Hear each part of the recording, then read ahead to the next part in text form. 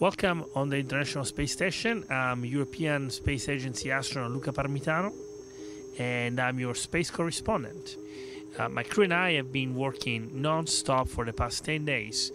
Uh, first, with the capture of uh, SpaceX 19, the Dragon spacecraft. This is the second Dragon in uh, my expedition, but it is the first time uh, that I get to capture a dragon. With the dragon, a whole lot of new things came up, new experiments, new facilities, uh, uh, new things, and a whole lot of science.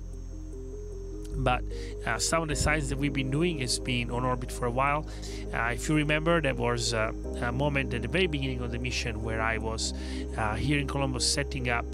Um, a, a, chair and uh, different systems to measure how our brain adapts to microgravity in terms of neurovestibular response.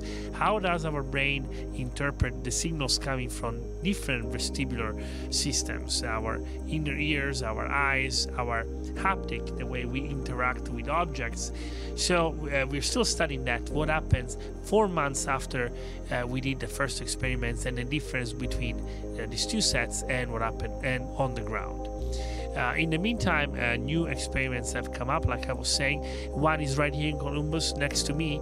There are tiny creatures uh, that are very, very, very uh, resistant. They're called rotifers, and they're very resistant uh, to extreme conditions. So they come up, they came up frozen, and I thaw them, and right now they are in microgravity, and uh, they're gonna be here for a while. So if we can see how the genome changes for some of these creatures, maybe we can understand how the gene expressions changes for humans as well while we are in, orbit. Thank you for watching and I'll see you next time where mostly we'll be talking about the end of the year and the end of my mission uh, coming up.